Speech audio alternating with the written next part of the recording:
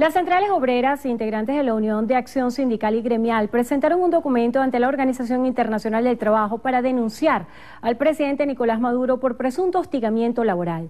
El texto denuncia las violaciones del gobierno venezolano de los convenios 87, 98 y 111 sobre libertad sindical, contratación colectiva y no discriminación. De igual forma, señala declaraciones del presidente Maduro en las que estaría a favor de despedir a quienes firmaron para apoyar el referéndum referéndum revocatorio.